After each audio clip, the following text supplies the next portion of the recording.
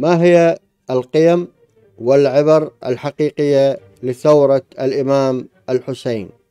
هل كانت ثورة حقيقية تطالب بحقوق الإنسان أم مجرد صراع من أجل الثروة والسلطة والسلطان؟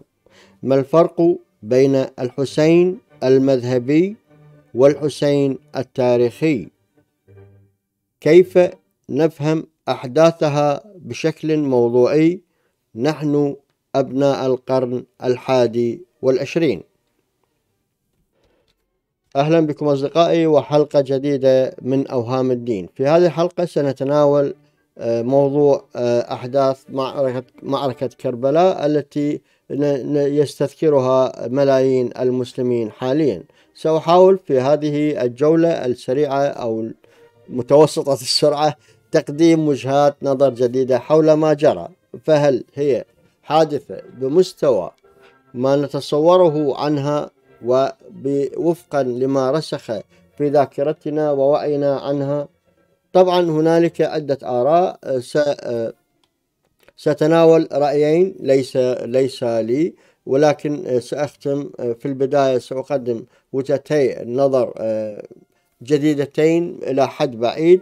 حول ما جرى في تاريخنا في أهم واحدة من أخطر المعارك والأحداث التاريخية آه، الخاصة بشعوبنا المسلمة. آه، أيضا آه، راح في الرأي الثاني راح أتناول به رأي كاتب يمني مش معروف وهو الكاتب الصديق حسين الوادعي وبالنهاية راح أقدم رأيي الخاص بالموضوع. فكونوا معي أصدقائي الأعزاء.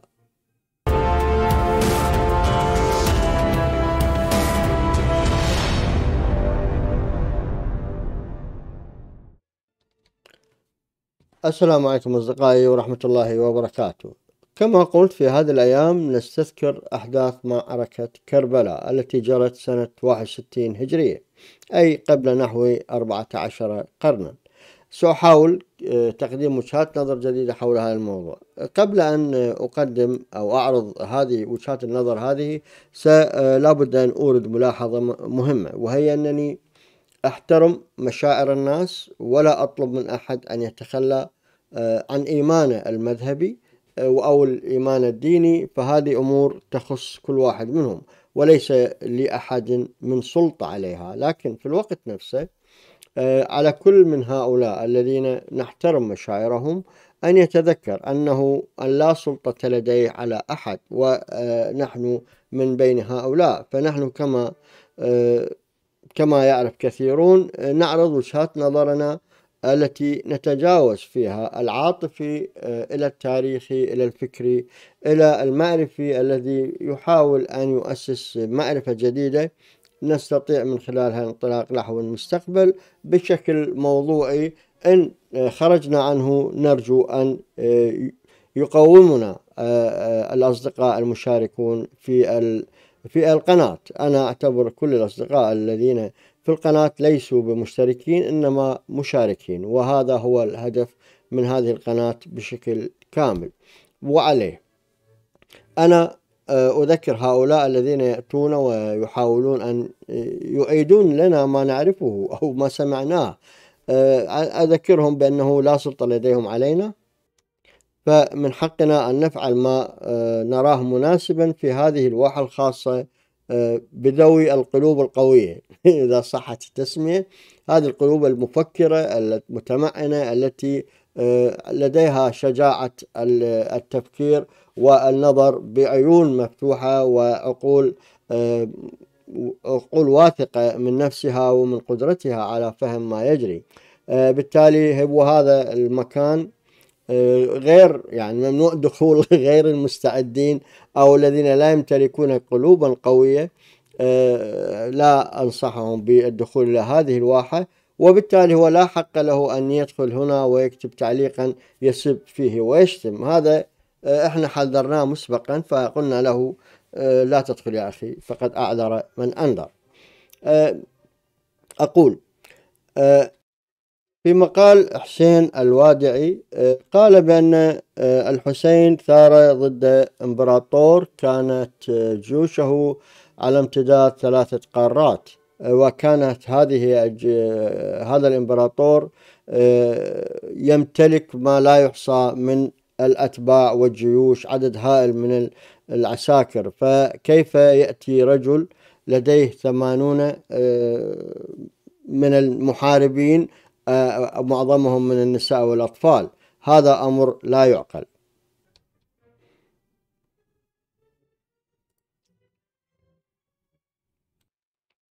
الرأي الأول نشر الصديق حسين الوادعي في صفحة على صفحته في الفيسبوك وقال فيه بأن الحسين هو شخص ذهب بمعية نحو ثمانين من أهل بيته من من من الرجال والنساء والأطفال ليحارب آه، إمبراطور كان يمتلك أو يحكم آه، دول من آه، ممتدة على مساحة ثلاثة قارات. واعتبر الوادعي بأن الحسين أراد القفز على سلطة يحكمها هذا الإمبراطور. واعتبر أيضا بأن كربلاء هي كانت نموذج بائس للطمع في السلطة.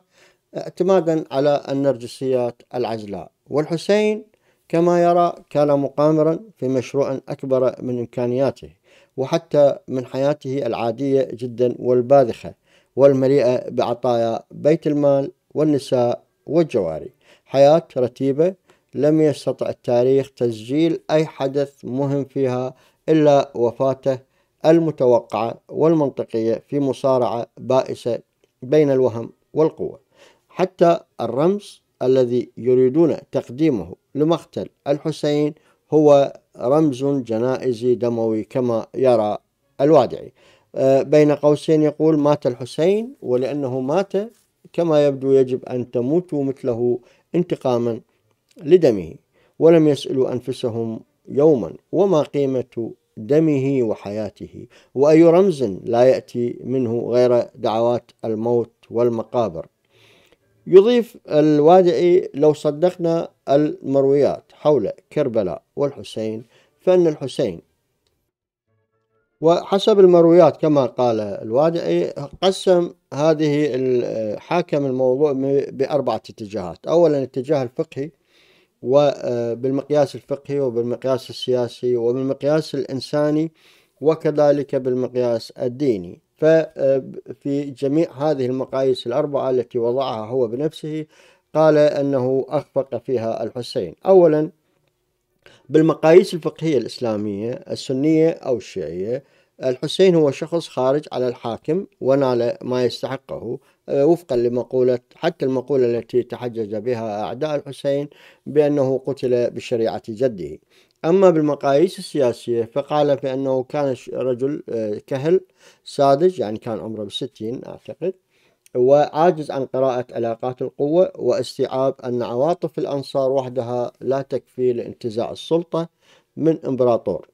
وصلت قواته لثلاث قارات. أما بالمقاييس الإنسانية فهو شخص آه، صاحب أفق ضيق يرى أن السلطة هي منحة وراثية في أبناء عائلة معينة بسبب قرابتهم للرسول وهو لديه رؤية كهنوتية تؤله الحاكم وتعبده. طبعا هاي بالإشارة أقول بأنه حكام أو الخلفاء الأمويين أكون أدي بحث راح أطلعه أنه كلهم كانوا يقولون نحن خلفاء الله ولا يقولون خلفاء النبي. وهذه تقريبا كلهم ما عدا عمر بن عبد العزيز يقولون نحن خلفاء الله. وهذه المسألة حتى حتى موجودة عند الخلفاء الراشدين. ولا بد هاي لها بحث خاص أتناوله لاحقا. بالمقاييس الإنسانية يقول المقياس الثالث هو شخص أفق ضيق كما قلت. أما بالمقاييس الدينية فما كان شخص تقي ولا ورع ولا زاهد بل كان مثل مثل أخيه وأبيه ومثل كل كبار الصحابة مزواجا محبا للمال والجاه ومترفا من عطاءات بيت المال ومستخفا بدماء المسلمين من أجل السلطة. وسنرى في في الرأي الثاني لميثاق العصر كيف الوثائق التي تثبت بأنه كان يأخذ آه، يعني آه، حصته مليون درهم سنويا عدا المكافآت. آه، فيخلص مما استقرأه. الوادعي إلى أن لا فارق بين الحسين ويزيد أم فنحن لو قرأنا التاريخ بموضوعية وعقلانية سنجد هذا الأمر بشكل واضح. يوضح أكثر ويقول أن الحسين لم يكن ملاكا ولا شيطانا كان شخصا عاديا وابن بيئته بكل بدائيتها وأطماعها حتى الشخصية. المثالية الوهمية هذه التي آه، قيل لنا عن الحسين آه، لم تعد مثالية بمقاييس اليوم. آه، فأي طفل في المرحلة الابتدائية لديه من المعرفة والوعي الأخلاقي ما يتجاوز ما كان يمتلكه الحسين من وعي بدائي ونرجسيات قائمة على وهم وراثة السلطة. الصورة الرومانسية التي كرستها الأعمال الأدبية بالتالي حتى لكبار اليساريين والماركسيين العرب أضاف إلى التاريخ المثالي المكتوب تحت دوافع التعصب للعلويين. كل هذه رسمت صورة وهمية لمغامر صغير انتهى في أولى مغامراته لأنها, لأنها آه، كانت أكبر من قدراته. ليست كربلاء يختم. يقول ليست كربلاء بأكثر من حادث سير صغير أرادت له آليات الدعاية العقائدية والسياسية أن يتحول إلى نهر للدم والفوضى. هذا مخلص كلام الصديق حسين الوادعي. عنده ملاحظات كثيرة وأعتقد جميعنا لدينا ملاحظات لكن أغلبها هي ملاحظات أنا, أنا أيضا من الناس الذين أتعاطف مع ثورة الحسين. ليس لكن أنا أيضا عندما سنطلع على المعلومات التي سنقدمها في الجزء الثاني من الحلقة راح نشوف التاريخ الحقيقي لهذه الشخصية ويعني آه، أنا ما يعني إحنا لازم نفرق بين ما نتلقاه من علوم ومعارف دينية آه، لتاريخنا الإسلامي أو تاريخنا عموم تاريخنا كشعوب. آه، راح نجد بون شاسع بين ما غذينا عليه وما تم تلقيننا عليه وبين الحقيقة. الآن بدأت الحقائق حقائق تتكشف. بعد بسبب يعني آه، سهولة الوصول إلى المعلومات هذا الأمر لم يعد خافيا ولم يعد بالإمكان أن نداري عواطفنا أو آه، يعني نسير خلف عواطفنا إلى حد إلى إلى النهاية. لابد أن يأتي تأتي لحظة المكاشفة ونعرف بها الحقائق كما هي. أنا أيضا أعتبر أنه يعني المس شيء ثورة الحسين سواء على الصعيد الشيعي أو السني هي فيها منطقة حساسة جدا في لا وعينا الديني ولا وعينا الروحي والتاريخي وفي كل المجالات والعاطفي. هذه مسألة مهمة ولا يجب أن آه، أوضح بأنني أيضا متعاطف لكن الآن كما قلت مكاننا ليس مكان العواطف إنما مكان البحث العلمي والفكري لإيجاد ما حلول لمشاكلنا في الغد. الذي يبدو ليس سارا لنا.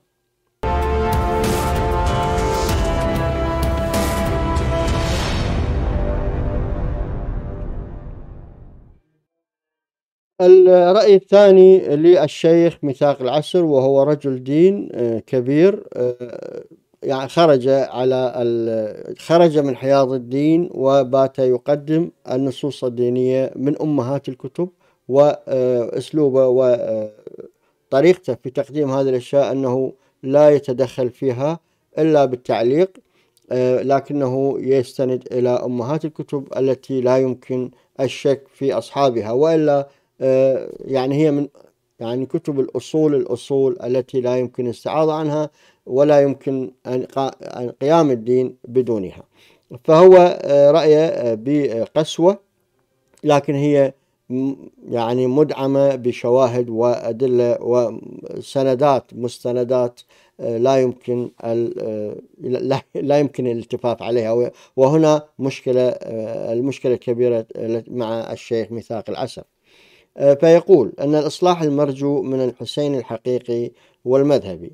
هنالك فرق بينهما. يقول الحسين الحقيقي ينكح النساء المسبيات في سياق تشريعات جده وسيرته. والحسين المذهبي يخرج من أجل طلب الإصلاح في أمة جده. هنا يسوي مقارنة بين الحقيقي والمذهبي ويضع شيء مختلف بينهما.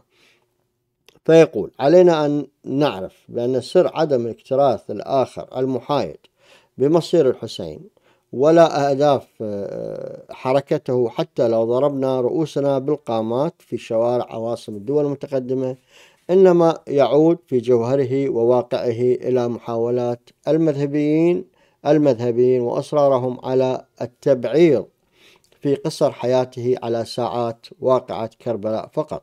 وهؤلاء يقول إنهم لا يقرؤون المشهد الكامل لهذه الحادثة ولا لشخوصها. لهذا يقول إن الآخر المحايد يجد ان ما حصل فيها طبيعي طبيعي طبيعي جدا ولم يخرج ولن يخرج آه، عن المألوف الإسلامي وتأصيلاته.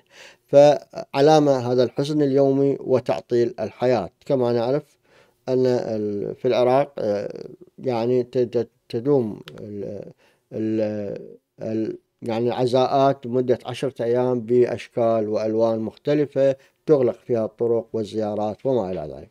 فهذا هنا يستشهد بوحدة من المصادر الأساسية آه، اللي هي يقول والإمام الحسين بعد الحسين وأمه شاه زنان بنت يزدجرد بن شهريان بن كسرى ويقال أن اسمها شهربانو وكان أمير المؤمنين ولا حريث حريث بن جابر الحنفي جانبا من المشرق فبعث إليه بنتي يزدجرد بن شهريان بن كسرى فنحل ابنه الحسين عليهما السلام شاه زنان منهما فأولدها زين العابدين. ونحل الأخرى محمد ابن أبي بكر فولدت له القاسم فهما ابن ابنة خالة. هنا أحدهم يعترض عليه ويقول له هذا كانت كان هذا الحياة واقعية كانت لديهم جميعا جواري ينامون معهن وهؤلاء مسألة ليست طبيعية. فقال له كان لوالده ميثاق العسر كان لوالده علي بن أبي طالب ما يقرب من عشرين جارية يروح ويغدو عليهن وكان يذهب إلى السوق ويكشف عن سيقان الجواري حينما يشتريهن أيضا. كان هذا حدث طبيعي لا لا أعتقد فيه إساءة. حدث طبيعي في ذلك الزمان. وأيضا كل حتى الخليفة عمر وابن عبد الله وكثير من الصحابة في ذلك الزمان. يقول هنا العشر بين تحت عنوان بين توريث معاوية وتوريث الإمامة الاثنى عشرية. هنا يقارن بين وراثة معاوية اللي كما نعرف أن معاوية حينما تولى الحكم بعد اتفاق مع الحسن جعلها يعني كما سموها وراثية.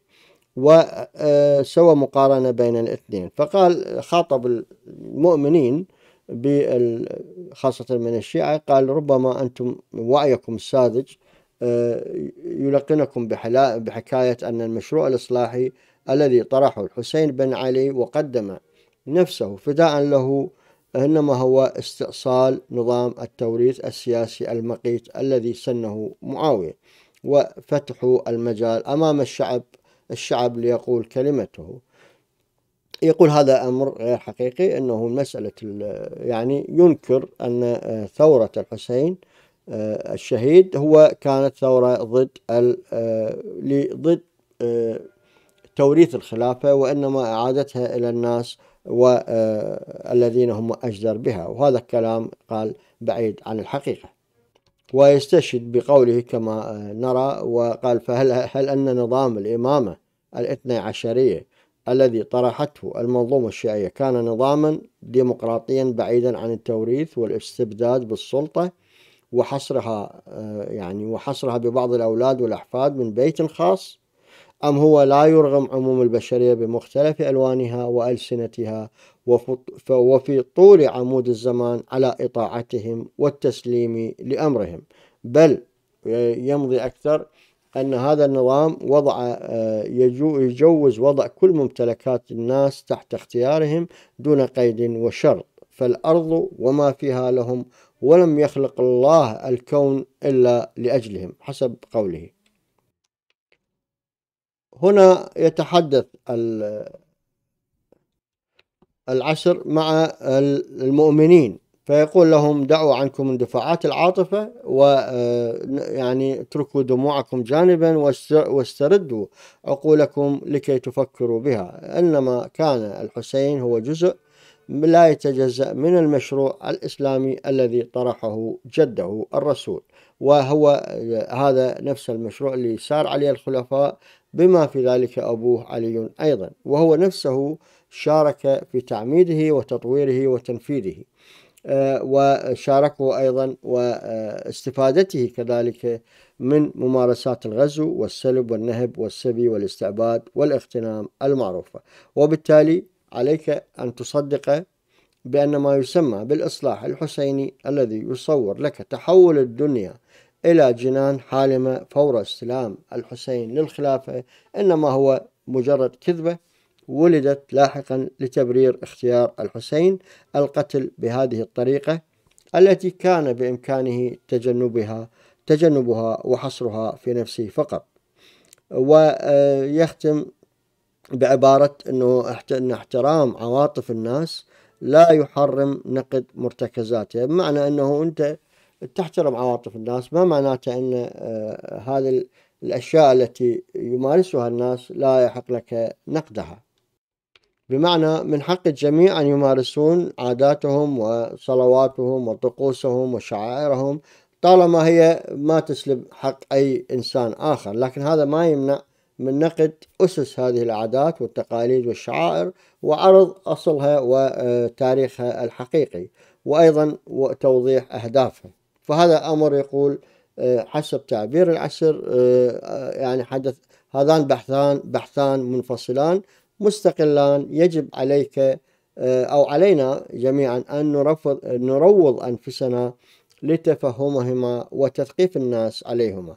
وتتدبر وكل منا يتدبر بعدها كثيرا كثيرا والله من وراء القصد. هنا آه، أنا أستذكر علي شريعتي قال آه، أن هناك روايات هذه اللي تحدث عن الحسين وما إلى ذلك آه، يعني إلصاق النسل قال بأنه قضية انه ولادته من ابنة كسرى أو يعني تزوج من ابنة كسرى فقال هاي حكايات غير آه، على شريعتي حكايات غير صحيحة. العسر قال لا هذا كلام ما له علاقة هذه كتب آه، يعني مصادر معتبرة ودقيقة ذكرت هاي الأشياء وقال بأن علي شريعتي لا يفهم في مثل هذه الأمور. إنما هو مجرد يعطي آراء آه، توفيقية بطريقة أو بأخرى. قبل أن أطرح رأيي الخاص ناخذ جولة على بعض الأشياء اللي نشرها الشيخ العسر. قال إنه آه، هنا هنا الحسين يكتب رسالة شديدة اللهجة إلى خليفة زمانه معاوية والأخير رغم التحريض يتجاوز ويصفح وتستمر مع هذا صلاته آه، له آه، في كل سنة مليون درهم. عدا العطايا والهدايا العينية المتنوعة الأخرى. المصدر كم أمامكم؟ هنا يأتي العشر بمصدر من بحار الأنوار المشهور للكليني ويقول بأن الحسين بن علي يسلب قافلة فور خروجه من مكة قاصدا العراق ويستولي على كافة مجوهراتها. و آه، يعني يشرح يعني يفسر هذا الموضوع يعتبره مثلبة من مثالب أو تعبير عن شخصية الحسين التاريخي. هنا يستشهد بمصدر آخر من وسائل الشيعة للعاملي الحر العاملي هو المصادر الأساسية للمرجع الشيعي للمذهب الشيعي. يقول أن الحسين كان يستلم مليون درهم سنويا من معاوية آه، من الغنائم والإتاوات. فهل كان سيرجعها إلى أهلها حينما يكون خليفة؟ يعني بأن هذه الأتاوى الأتاوات والغنائم هي آه، من يعني من مأخوذة من الناس قهرا. فبالتالي هل أن الحسين عندما يستلم السلطة سيعيد يعني سيحقق هذه الإصلاحات اللازمة ويعيد الحقوق إلى أهلها ويعوضهم. هنا تساؤل فيه نوع من ال يعني آه، لكم أن تفسروا ما ما يقصده الرجل. وهنا العسر يأخذ مصدر مهم جدا. يقول به أن الحسين لم يكن هدفه الإصلاح بل بالعكس كان الرجل يبايع معاوية ويرفض الخروج ضده. وهذا آه، المصدر هو الإرشاد. أيضا مصدر آخر نشوف إيش يقول. هذا قريناه. بس هذا مصدر آخر يقول بأنه المفيد ومن يعني كبارة المصا... أكبر مصادر الشيعة. ما أن مات معاوية حتى بادر الحسين لطرح نفسه للخلافة ودعا لزعامته وأفتى بالجهاد وخرج للعراق للاستنصار بشيعته. ويذكر هذا المصدر العسر بالاستشهاد بأنه لم يخرج كمشروع استشهادي. من أجل إحياء ضمير الأمة كما يرى العسر ولكنهم خرج آه، آه، طمعا بالخلافة. وكل ما فعله وخرج إلى الكوفة لاستلام القيادة والزعامة والاستقرار فيها مع وهذا السبب الذي جعله يأخذ معه يعني عائلته بأكملها بأكملها. هنا يقدم أثباتات العسر على أن خروج الحسين الإمام الحسين كان ليس لم يكن بهدف الاستشهاد ولا أنه مشروع استشهادي معد سلفا إنما الرجل خرج لكي يطالب بالخلافة وقال هنا بأنه طلب من وجهاء البصرة مبايعته ونصرته وأنه يبلغهم بأن الخلافة وقيادة الناس حقه المسلوب منه ويجب إرجاعه. طبعا هو فعلا أكو هناك اتفاق بين الحسن ومعاوية على أن يؤول الأمر إلى الحسين الحسن أو الحسين بعده. هنا يواصل العسر آه، تقديم شواهد على أن خروج الحسين كان لم يهد كان يهدف إلى الإصلاح لكن على على أي طريقة. هنا يستشهد بفتح الباري لصحيح البخاري آه، لابن حجر العسقلاني وهو من آه، أمهات ومصادر الكتب كتب الإسلام.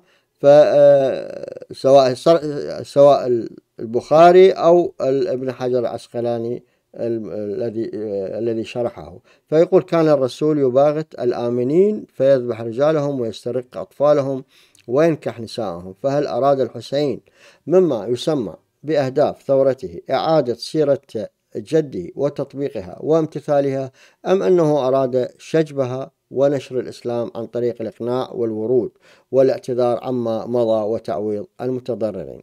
هذه على هنا آه، آه، يعني الغارة على بني المصطلق آه، وكانوا هم نائمين يعني. وفي هذه الغزوة يعني كانت جويرية واحدة من زوجات الرسول أطلق يعني أطلق سراحها أو عتقها على أن أن يكون صداقها هو ال ال يعني أن تكون من حصته أو زوجته. وطبعا جويرية من جميلات العرب وكانت شابة بالخامسة والعشرين من عمرها أتذكر يعني. وهذا مصدر اللي يذكر بأنه كان الإمام علي يكشف عن سيقان الزواري الجواري وماذا آه، والحسين يعني يتساءل ماذا يفعل الحسين آه، بعده. هنا يتحدث عن مقتل مسلم بن عقيل آه، فيقول بأنه مسلم ظل طريقه إلى الكوفة ومات الدليلان معه عطشا فراسل الحسين وطالبه بإعفائه من المهمة لكن الحسين يصفه بالجبان ويصر على أنه آه، آه، يذهب إلى وجهته بغض النظر عن رفضه. فيقول له فقد خشيت أن لا يكون حملك آه، حملك على الكتاب إلي في الاستعفاء من الوجه الذي وجهتك له إلا الجبن. فامضي لوجهك الذي وجهتك له والسلام. يعني قال لا لا مجال للتراجع. أنت مرغم على طاعة أمري هذا مصدر من الأخبار الطوال ومصدر مهم جدا من الدينوري وفيها أشياء كثيرة جدا طبعا قليل يستشهدون به لأنه كثير من الأمور التي تغيب عن آه، يعني أنصح الكثيرون بقراءة هذا الكتاب. مصدر مهم جدا وفيها أشياء غير مذكورة بالمصادر الأخرى. آه، هنا يصف حسين مسلم بن عقيل بالجبان الفاشل فنفس الفكرة تقريبا. هنا يقول مسلم ينزعج من وصف الحسين إياه بالجبان وإصراره على مواصلة الطريقة ويتحرك نحو الكوفة ليثبت له العكس. هنا كما قلنا نفس الفكرة لكنه هنا يحاول أن يقول يثبت بأنه فعلا كان يريد انسحاب من هاي المهمة لكن هنالك من كان يدعي بأن هاي الأخبار غير دقيقة وكانت مجرد محاولة من ابن عقيل. لمعرفة رأي الحسين بمشروعه. وهنا يؤكد بأن زعيم المذهب الشيخ المفيد يقر بصحة رواية توسل مسلم ووصف الحسين إياه بالجبان. وهنا أيضا شريك آه، يصف مسلم بن عقيل بجبان الفاشل وهذا المصدر الأخبار الطوال الدينوري. كانت كان خطة لقتل زياد بن أبيه لكن تراجع عنها مسلم وأفسد هذه الخطة. هنا هذا فت خبر آه، يعني أستغربه جدا. وهنا محمد الصدر وهو آية الله محمد الصدر اللي هو يصير عم المقتدى الصدر يقول بأن آه، أنه يعتبر محمد الصدر بأن هاي الثورة ثورة كثورة الحسين هي تحمل مصالح خاصة لا طريق لاكتشافها إلا المعصوم. معنى المعاني يقول لا, لا ينبغي أن نتبع هذه هذه الثورة لأنها ثورة لا يجوز تقليدها. و آه، وإنما هي مجرد آه، يعني للعظة وخاصة بالمعصوم فقط ولا بالتالي لها ظروفها الخاصة. وأن بدليل لأن فقط لأن المواجهة مع فقدان العدة والعدد هو انتحار محرم لا يجوز الإقدام عليه. بل ربما يحمل أضرارا أكثر فداحة من الصبر والتحمل كما تحملنا ولا زلنا بسبب ذلك. هنا آه، في مجمع البيان في تفسير القرآن للمسعودي آه، هنا هنا آه، طبرسي قصدي. هذا يقول قاتل حسين لأنه كان يظن أنهم لن يقتلوه باعتباره هو السبط الرسول. أيضا هنا أكو آه، موضوع أنه رواية أبي مخنف. هنالك لدى الشيعة هناك كتاب آه، آه، رواية أبي مخنف فيها اختلاف عن رواية الرواية التي ذكرها الطبري في تاريخه. وهنا يستشهد يقول أبو مخنف أن ابن سعد فرح حينما رأى أن الحسين لا يريد القتال. لكن المشكلة أن زياد بن أبي أصر على مقاتلة الحسين. لكن الحسين كان على استعداد لأن يذهب إلى ابن عمه بعبارة الحسين في حواره مع ابن زياد. قال له فابن زياد أصر على أن يبايع يزيد في حضوره بدلا من الذهاب إلى يزيد ذهاب الحسين إلى يزيد بنفسه.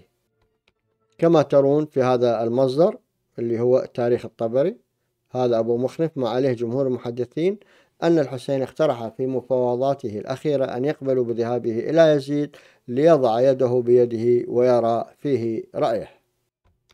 هذا المصدر الذي تراجع في الساعات الأخيرة وابن زياد يرفض. هذا اللوامع الإلهية في المباحث الكلامية.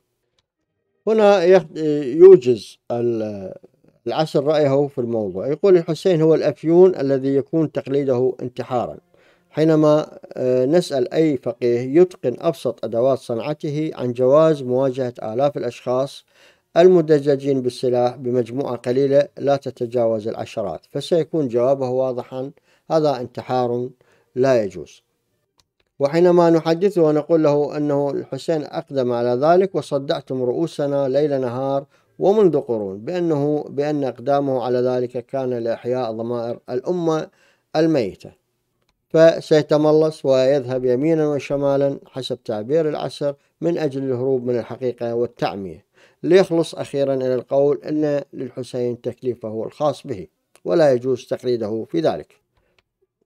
ختم يعني خلاصة موقفه يقول من هنا نعرف أن الحسين بصيغته المذهبية المعروفة إنما هو بقرة حلوب آه، توظفها جميع الأطراف المتناوئة لشحذ همم قطعان جماهيرهم وتحريكها بأي صوب تريد وهو أفضل أفيون ناجع ومؤثر وطويل الأمد بحيث ينسيك كل آلامك ولا تكتشف عللها حتى موتك يوما بسببها دون علاج. أما التكليف الشرعي فلا يجوز تقليده فيه فتأمل كثيرا ولا تندفع والله من وراء القصد.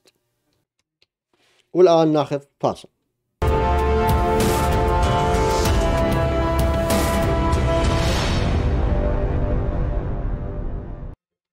الآن أطرح رأيي الخاص. وهو رأي مختلف تماما إلى حد بعيد جدا عن رأي الصديقين الصديق الوادعي وأيضا الشيخ العشر أنا رأيي أنه لا يقوم على تهشيم الصورة التي رسمناها عن الإمام الحسين بل عن نقد هذه الصورة نفسها. الصورة الموجودة لدينا حاليا. فهي ما كانت في أفضل صورها صورة جيدة. يعني أنا أعتبرها هي الصورة التي وصلتنا عن طريق يعني الصورة الجيدة التي في أفضل صورتها هي هاي صورة الحسين التاريخي أقصد المذهبي وليس التاريخي. آه هذا الذي حفظ في رؤوسنا وتعاطفنا معه. هذه الصورة بحد ذاتها لم تعد تنفعنا ولا ولا تقدم لنا أي عظة أو موعظة أو شيء ينفعنا في المستقبل. هي مجرد محاولة لاستعادة ذلك التاريخ بكل ما فيه من تخلف وقصور ثقافي وإنساني في جميع المجالات. نحاول أن نستعيده ونحاول ونقول بأن هناك حدثت أخطاء وصراعات بين الحق والباطل بين المعروف والمنكر بين الحاكم السيء والحاكم الجيد. وهذا كل هاي القصص إحنا ما نحتاجها أصلا هي الموضوع بأكمله مختلف تماما. صحيح مثلا إحنا نقدر نقول إن شعوبنا كانت دائما بحاجة لنموذج ثوري يعبر عن غضبها وإحساسها بالظلم من قبل بسبب الحكام. وكان الحسين بالتالي هو والإمام علي من أبرز هذه النماذج. ففيهم فيهم معظم المميزات المناسبة لذهن الناس في ذلك الزمان لأن يكونوا نماذج ثورية. وهذا الأمر نفسه يعني جعلنا حتى في القرن العشرين خاصة وحتى اللحظة هذه جعلت ثورة الحسين تختلط بالأحلام اليسارية الطوبوية ويعني كما ذكرت في البداية أنه معظم الشعراء العرب أو ذكر الوادعي أنا أيضا أضيف بأنه معظم الشعراء العرب كتبوا عن ثورة الحسين وخاصة أمل دنقل وصلاح عبد الصبور أيضا وحتى عنده مسرحية أتذكر. آه، فهذه آه، وأدونيس أيضا كتب آه، عن هاي الثورة واستلهموا من أجل كثير من الأشياء واعتبروها يعني هي رمز لرمز شعري. من هنا ألصقت بما قام به الحسين عبارة الثورة وهي هو هذا مصطلح حديث مفهوم حديث. يعني استخدمناه إلى حد أنه أصبح مفهوما مهترئا من شدة استعماله وأطلق على كل شيء تقريبا. يعني مجرد تطلع مظاهرة قالوا ثورة. آه، سواء انقلاب قالوا ثورة. الثورة بالحقيقة شعوبنا بأكملها لم لم تقم بالثورة. أنا أعتقد الثورة الحقيقية الوحيدة يمكن ثورة المصريين عندما أسقطوا محمد مرسي. أعتبرها ثورة لكنها كانت ثورة خالية يعني لم لم تتضح يعني لم لم تصدر عن وعي كافي لكي تتحول ويتم تطبيق هذه الثورة إنما آه، عادت الأمور إلى آه، يعني يعني راح رجال الدين تركوا الساحة وألقوا الكرة إلى العسكر وهكذا العملية متواصلة. فإحنا ما زلنا كما قلت أنه بالصورة الحسين التاريخية أو صورة الحسين الحقيقية آه، أو التاريخية الحقيقية أو صورته المذهبية إحنا بالحالتين هذه الصورة ما تفيدنا. اللي يفيدنا فقط هو أن, أن نعالج أمورنا بطريقة علمية وهذا هو سلاحنا في فهم هذا العالم الآن والتعامل معه وشق طريقنا في المستقبل. حتى نفهم هذا العالم إحنا ما نحتاج أن نحمل سلاح السيوف التي التي هي اللي جعلتنا نستولي على هذا العالم ونستولي على البلدان ونفتح الأمم. ونستعمر هذه الشعوب ونسبي نسائهم لا نحتاج أن نغزو العالم بالعلم بالثقافة بالوعي بالتلاقح مع الأفكار والتفاعل مع كل التطورات في التي تجري في جميع بلدان العالم. هذا هو السلاح الأساسي الذي يجب أن آه، نتأبطه. آه، ليس شرا إنما نتأبطه علما وخيرا وانفتاحا وتسامحا وثقة بالآخرين ويعني الخروج من هذا العالم المغلق الذي وضعنا أنفسنا فيه. وحتى لو تحدثنا عن الحسين المذهبي على سبيل المثال وتحججنا بقولنا مثلا هو كان رجل يبحث عن الإصلاح خرجت لإصلاح أمتي كما يقول فهو كرجل ما كان ممكن أن نبحث عن نموذج أكبر مع احترامنا الشديد واحترامي لعواطف الناس حول الموضوع آه، ممكن كان ممكن أكو شخصيات يعني أهم بكثير من من حسين. الحسين كان مرة واحدة خرج يعني كان عمره 61 سنة خرج وكما آه، رأينا آه، كان الخروج لأجل السلطة وليس لأجل شيء آخر. وهذا أعتقد لا يختلف عليه اثنان إلا من هو يعني متعاطف أو لا لا يتحدث بطريقة عقلانية. آه، مثلا نجي على شخصية عمار بن ياسر. نجد عمار بن ياسر شخص قاتل من طفولته وأمه أيضا راحت شهيدة وهذا الرجل أيضا بقى فقير ولم يجمع الأموال كما فعل الآخرون. دافع عن الإسلام ودافع عن الرسول وكان من أخلص الناس إلى الرسول. يعني هو من حماته ومن يعني إيد اليمين كما يقال إيد اليمين عمر وكان إيد اليسار هو آه، أو حمايته المدافع الرئيسي عنه هو من آه، عمار بن ياسر. هذا الرجل بقي قاتل وشارك بجميع الغزوات وأمه قتلت بسبب هذا الموضوع قتلها أبو جهل. لكن آه، أيضا وحتى هو الشيخ حارب في صفوف علي ضد معاوية وقتل وقال معاوية صارت مشكلة. حتى الرسول حديث الرسول أنه تقتله الفئة الباغية فالمعاوية وجد حلا وقال أنه من أخرجه هو الذي قتله. هذا الرجل كان يعني شخصية آه، حقيقية. اللي فعل الحسين لا يقترب مما فعله آه، عمار من أجل الإسلام ولو يعني لا لا أبسط الحدود. أيضا هنالك هنالك أسماء كثيرة. مثلا الناس ثاروا في الكوفة. حتى الخوارج الخوارج ثاروا ضد الاضطهاد وضد السلطة الغاشمة وقالوا أن الحكم لله. ومهما كانت ارتكبوا مجازر هائلة لكنهم كمشروع كان مشروع منطقة بنوع من الديمقراطية تقدر تقول عليه. يعني كان أنا أستغرب أحيانا من أقرأ منطقهم وأقرأ كتاباتهم أستغرب هذا المنطق في ذلك الزمان الذي يرون فيه أن لا لا حاجة للملكية ولا حاجة لتوريث الحكم ولا ولا حاجة لأن يحكم الناس تحكم الناس عائلة أو آه، سلالة آه، يقولون لا الحكم لله وأي واحد يجي جدير بالحكم هذا عمل هذا ما موجود. يعني حتى لحد القرن الحالي. هذا الشيء فكرة عظيمة لكنه هم ما أعرف يعني آه، مجازرهم التي الهائلة التي ارتكبوها آه، يعني شيء غريب. ما أعرف ما لا أعرف كيف لم. لم أصل إلى شيء مشترك لكنني لم أتعمق كثيرا بالموضوع بصراحة. لكن الشكل العام أن الحكم لله معناته الحكم للناس. هو والله هو شنو؟ رمز الجماعة رمز الأمة رمز الوطن مثل العلم الذي نرفعه فيقول لك الحكم لله خلاص.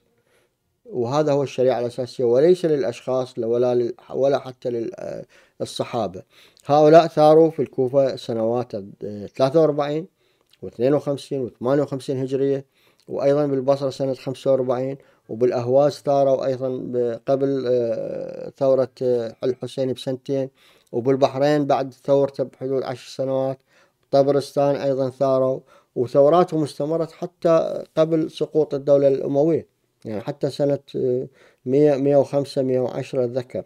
هذه كانت ثورات حقيقية. أيضا عندما نجي على ثورة الزنج هاي ثورة هائلة. ثورة يعني آه، ناس ثاروا بالملايين كانوا مستعبدين مساكين وثاروا لسنوات ضد الناس الذين ظلموهم وذول الإقطاعيين أو كانوا آه، دمروا حياتهم يعني في هذا. وهذه الثورة مال الزنج يعني الواحد هي تحتاج حلقة كاملة. هاي تناظر ما قام به آه، ثوار الباستيل في باريس سنة 1789 الثورة الفرنسية. آه، هذه يعني تقريبا تناظر ما فعلوه يعني سواء على مستوى الأسباب التي دفعتهم من الثورة ولا أو على مستوى المطالب التي تقدموا بها. يعني عندما نقرأ ما فعلوه وطلبوه رغم التشويه التشويه التاريخي لما فعلوه لكن تجد بين بينها بين العبارات تجد أشياء واضحة أنه ناس قدموا شيء ممتاز. ومن عندهم أيضا القرامطة القرامطة رغم المذابح التي قيل عنها إلا أنهم تجد عندما تراجع ما فعلوه في البحرين كانت حكومات ديمقراطية ويتشاركون في كل شيء في الأكل في الطعام في الأملاك. حكومة شيوعية صرف يعني نظام مستمر ليس يوم ويومين إنما سنوات. وهؤلاء آه، يعني لكن تلاحظ أنه عندهم أفكار ممتازة في ذلك الزمن وفي الجانب الآخر تجد عندهم وحشية غير طبيعية. وهذا ما أدري يعني ما هي الحقيقة؟ لا نعرف. هؤلاء يبدو أنه التاريخ طمس دورهم أو طمس الكثير أو جاه يعني بالنتيجة كل كتب التراث تجاهلت ثورة الزنج. آه، لحد هاي اللحظة إحنا نتجاهل هاي الثورة العظيمة التي قام بها ملايين المظلومين. واللي سبقت ثورة الثورة الفرنسية بثمان قرون وكان ممكن أن تكون نموذج يعني يحرك يعني نموذج يستند له المظلومون في عالمنا العربي الإسلامي الذي الذي جاء المتنعم بنعمة الإسلام كما يقول البعض. بالمقارنة كان ممكن أنه هاي الثورة الفرنسية اللي, صارت منار يعني شيء نموذج للحرية وكرامة الإنسان في أوروبا وامتدت أفكارها حتى لدول أخرى. العالم كله الآن آه، أقر بحقوق بالأشياء الشعارات التي رفعتها الثورة الفرنسية. أختم وأقول أنا ما يهمني الآن هو مو تهشيم الصورة اللي رسمناها عن الحسين. يعني شخصيا أنا قدمت قراءة للآخرين مو قراءتي الخاصة لكن هاي قراءتهم قدمت قراءة الوادئ وقراءة العصر لمشهد أو ثورة الحسين واللي هي أيضا ممكن تشمل تاريخنا بأكمله لأنه هو نموذج يعطينا إطلالة على هذا التاريخ والحسين يمثلها ويجسدها بطريقة أو بأخرى آه، منذ 1400 آه، عام. اللي أنا بالنسبة لي أنا ما أقول إحنا نريد نهشم هاي الصورة. أصلا إحنا هاي الصورة بأكملها سواء صورتها التاريخية أو المذهبية أو الإيمانية والدينية هاي كلها إحنا هاي الصورة ما نحتاجها بعد الآن. لم تعد مفيدة ولم تعد تقدم تقدم لنا آه، أجوبة لمشاكلنا الراهنة. علينا بالعكس نفكك هذه الصور بجميع أشكالها ونحاول أن نخرج شباكها التي تحيطنا. يعني الشباك هذا الرؤية الدينية للعالم والأشياء يجب أن نرفعها عن جسدنا وعن روحنا وعن أفكارنا وعن عقولنا. هذه الشباك العنكبوتية التي تغلغلت داخلنا, داخلنا إلى حد جعلنا مرضى ولا نستطيع التفكير بمعزل عنها. علينا أن نتخلص منها اتباعا حتى بعد ذلك. نرى طريقنا على الأقل. نرى ما ماذا يجب أن نفعل. لا لا يصح أن نبقى دائما أسرى ماضي. آه، صنعته أقوام وشعوب مختلفة عنا تماما في كل شيء. مختلفة بالأكل بالشرب باللبس بالحياة بالتفكير بالمعرفة. يعني لا لا يعقل أنه إنسان الآن القرن الواحد وعشرين يجي يريد يقتدي بمجموعة بدو وأقوام تعيش في وسط الصحراء جوعانة عطشانة 24 ساعة. وبالكاد يجدون لقمة يأكلونها وبالكاد يفكون الحرف أو لديهم كتاب أو لديهم يعني هذا لا يعقل. أي إنسان عاقل لابد أن يستجيب إلى هذه المسألة أو يرفض من يدعوه لهذا الشيء. أنا أعرف كثيرين الناس أغلبها مقهورة مستعبدة وبسبب أنه يعيشون في وسط اجتماعي يجبرهم على على التماهي مع الأخطاء التي تجري حولهم. لكن هاي الأخطاء مع بكل إنسان يستطيع أن يفعل شيئا في مقاومتها على الأقل لا, لا ينقلها على محيط القريب على أولاده على عائلته ويحاول يتخلص منها بطريقته. وأقول بأنه دائما السلطة هي شنو السلطة؟ هي سلطة كلمة. السلطة ليست لا تمارس العنف. السلطة آه، نحن من نمنح الآخرين السلطة يعني عندما السلطان من أين يأتي تأتي سلطته؟ لا تأتي إلا من, من تأييدنا إليه واستماعنا إليه لكن عندما الشعوب تختار طريقها وتختار وتجد أن أن من منحته السلطة لا يستحق هذه السلطة تسحبها منه حتى إذا كانت تخاف من بطشه ومن جبروته تجد لديها طريق عشرات الطرق لإحباط عمله وإسقاطه بطريقة أو بأخرى. ما ما نريده من كل هاي الصراعات التي اللي تدور حول السلطة عبر تاريخنا الطويل 1400 سنة شعوبنا ما أتى غير موضوع السلطة. بس ماكو شيء آخر. الكرسي والعرش والسلطة والسلطان. الشعب شعوبنا ما أتى موضوع غير السياسة وتتابع الأخبار 24 ساعة بس سلطة. ما أتى موضوع ثاني. ماكو دين وسياسة ما أي شيء آخر. إحنا نريد نكون ما نريد نكون إحنا ناس شعوب مرتبطة وصراعاتنا مرتبطة بالسلطة. إحنا نريد صراعاتنا تكون مرتبطة بالإنسان بحقوقه بحاجاته بمتطلباته بطريقتنا بكل ما يلزم لتطويره. أما نظل إحنا مرتبطين بموضوع السلطة موضوع السلطة هي شنو فائدة السلطة؟ إحنا نريد نبني الإنسان مو نبني السلطة. الإنسان عندما نبنيه هي السلطة هذه وظيفتها السلطة وظيفة وليس غاية. إحنا اللي نريد نخرج من صراعات العقيدة والنصوص المقدسة. من هذه الصراعات العقيدة والنصوص المقدسة إلى صراعات الحضارية والعلمية والإنسانية القائمة آه، على أسس الحوار والتفاهم والتعاون والتسامح. وإلا ماذا جنينا؟ يعني حتى لو واحد يعترض عليه. شنو اللي جنيناه من صراعات يعني استمرت من يوم السقيفة مرورا بالفتنة مال عثمان إلى أيام كربلاء وبعد ذلك حروب أمية والعباسيين بني أمية والعباسيين والعثمانيين وكل الأساطير والخرافات اللي نتجت عن هذه ودفعت دفعنا جراءها الأمرين. ما جدوى أن نقف إلى جانب هذه الصراعات من أجل السلطة مهما كانت مسميات الذين قاموا بها المقدسة هذه الصراعات كلها كان الأداة فيها هو الإنسان. هذا الإنسان الذي ذبح وقتل وجزر ودمرت دمر كل شيء فيه. وجعلوه مجرد أداة تستخدم لكي يصحوا إسلامها بعد ذلك أو تص... أي تصح عبوديتها. يعني أنت عندما تستعبد هذا الإنسان أنت أو تجعله تقول عليه صحة إسلامه معناته صحة عبوديته. هذا المعنى الحقيقي الواقعي. عفونا من فكرة الله. الله هو من يمثله هو الحاكم. الحاكم بأمر الله. هو هاي الحقيقة. أما أن نضع حالة القداسة على هاي الملاحم والفتن فهذا آه، لا يحجب حقيقة أنها كانت صراعات دموية وغير أخلاقية على السلطة. ومن العار على ابن القرن الواحد والعشرين أن يقيم حياة أن يقيم حياته ومستقبله عليها. الخلاصة ما قام به الحسين لم يكن ثورة. هدفها الإنسان إنما الحكم والسلطان والترويج لها.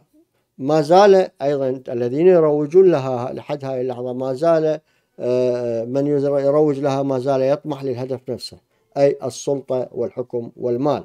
وهذا اللي جعل آه، ثورة الحسين المخترعة والتي رسخت في قلوبنا مع العاطفة رغم عواطفنا الجياشة إزاها لكن هاي جعلت هاي الثورة بقرة حلوب تدر الملايين سنويا على رجال الدين. والغريب إنه من يزور إيران الشيعية الآن لا يشهد طقوس مماثلة لما ما يجري في العراق ولبنان. وهذا أمر له دلالة أترك لكم تحليلها ومعرفتها. ألف شكر وآسف على الإطالة. مع السلامة.